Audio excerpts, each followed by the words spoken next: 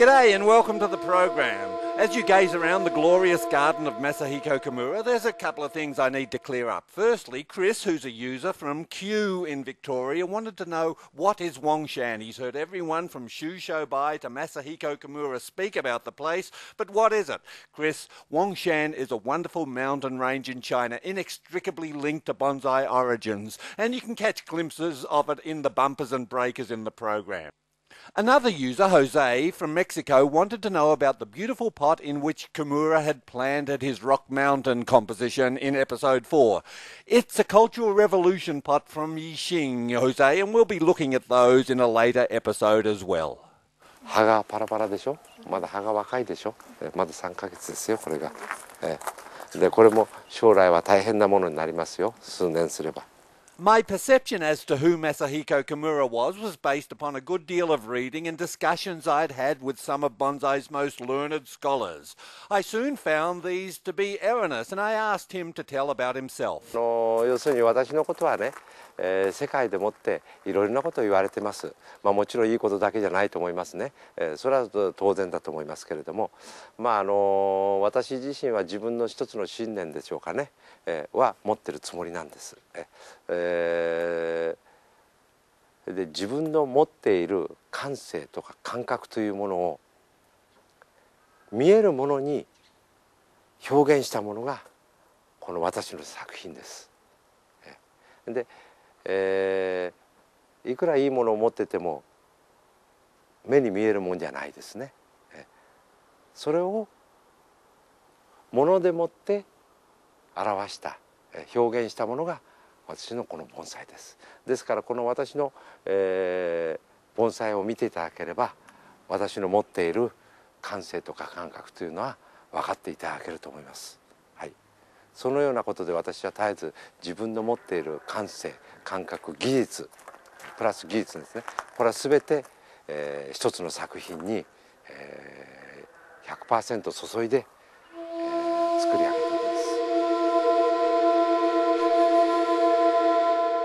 The Red Garden in Yangzhou is one of the Chinese Penjing gardens that's enjoyed official support for many decades. It's also home to Qingquan Zhao, or Brooke, the Yangzhou Penjing artist who's active in America promoting bonsai and Penjing, and of course to Master Lin Feng Shu and the late Xu Xiaobai. While the Red Garden features trees and styles from all over China, the slender West Lake Garden, which used to be under the management of the Red Garden Committee, features a Yangzhou style. Just inside the gate was a pine, and I asked Master Lin about it.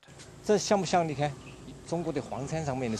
Slender West Lake Garden is a tourist mecca, and people come from all over China to experience it. If you want to get your picture taken in front of some of the iconic locations, stand in line. If you don't feel like walking, you can always jump on a boat and have a look around and travel through the canals, or just sit in a rotunda and enjoy the beautiful scenery and the wonderful penjing that abound. The gardens offer the services of specialist penjing interpreters and Master Lin kindly arranged one. So I asked about the origins of Yang bonsai.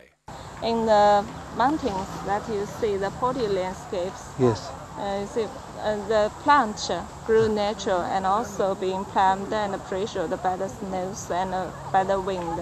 It just uh, it just like the models of potty landscapes of Yangzhou. It has been so absorbed from the natural. Uh-huh. You see that in Huangshan, they has the welcome pine. Yes, I know it.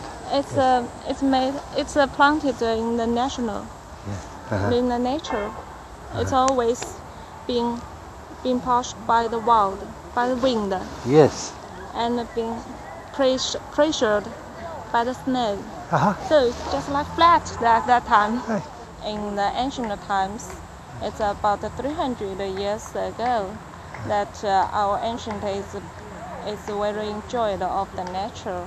Uh-huh. So Penjing is a is a place. Uh, it's also the absorbed from the natures. Slender West Lake Gardens was originally just a narrow river, But during the 18th century, wealthy salt merchants in Yangzhou, in anticipation of a visit from the emperor, created the park by widening the river into a slender lake and creating a series of canals going off around the northern part of the city. Today, the gardens are enjoyed by all people, but in the past they were for the exclusive use of the wealthy and powerful. In ancient times, this building here was reserved especially for birthdays. Nothing else, just a birthday house. And there were scholars' rooms where one could sit and ponder individual bonsai or admire calligraphy and paintings. But I really wanted to see where the Penjing artists worked, where they created these wonderful Yangzhou masterpieces. And Li Wei directed us to a pavilion nearby where we found a group of gardeners carefully styling trees in the Yang style. This is a really conventional and fairly constrained way of making bonsai using palm fiber wiring. The trees come in two basic styles. There's the platform style that has one to three levels of foliage pads, and then there's the ingenious or delicate cloud style. This is Master Lu. He's one of the masters of the Yang School of Penjing here in Yangzhou. And to shape a tree like this with the palm fiber, it takes him two days. Two days of meticulous concentration. And the results are really quite stunning.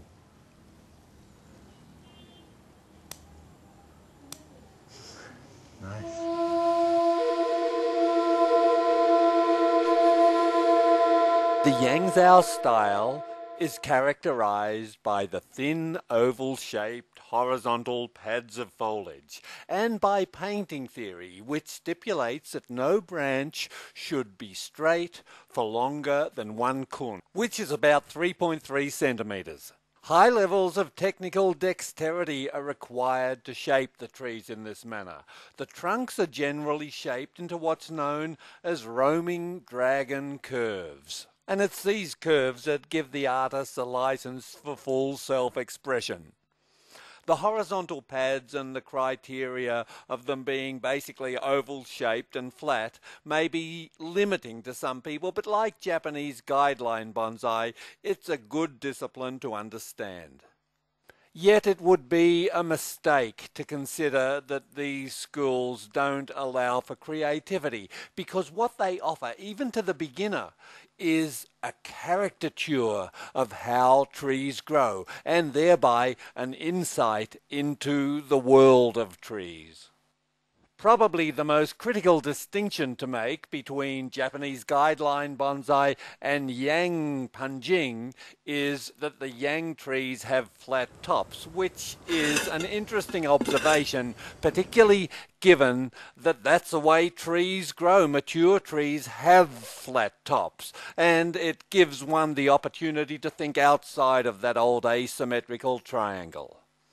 The Yang style seems to have been largely ignored by many bonsai authors and scholars, and it's for this very reason that I think it's quite important to take a good up close look at it, because this is a style that has endured unchanged for centuries in a world where fashion rules. When one looks at the Chinese schools of Penjing, we soon discover that root pruning, which is sort of the great mystery to the foreign beginner, is not something that's emphasized or sometimes even mentioned in Chinese Penjing. The emphasis is much more upon soil replenishment, refreshing the soil in the pot. And another important distinction to make is that gauze over the drainage holes isn't entertained here. Instead, a piece of broken pottery with a curvature on it is placed over the hole to enable better drainage. It's what my dad used to call a crock, and that's not to be confused with the American slang term. With potting mixes, I've kind of given up quizzing people on them too much because there's such a diversity and really different materials are not available in different parts of the world. So any international discussion about potting mixes should be taken pretty much with a grain of salt. The main thing is it fits in the pot, it drains okay, it adds some sort of nutrition and it holds the tree up. And once a tree's standing up, of course, it's always important to water it in thoroughly. That can be repeated as many times as you want to say it because I'm always astonished at how many folks, particularly beginners, forget to do this particular job. So thank you to Master Lin Feng Shu for his generosity in showing us how to shape a tree with palm fiber wire in the Yang style. In a coming episode, Master Lin is going to assist us to tell the story of the Tang Dynasty dynasty Buddhist monk Jianzhen and of his journey from Yangzhou to Japan and the incredible impact that his life had on world bonsai. We couldn't fit in the Yangzhou Bonsai Market story this week. There wasn't time, but that'll be coming next time. And next episode, we're going to return to Japan as well. Authenticity at bonsaifarm.tv.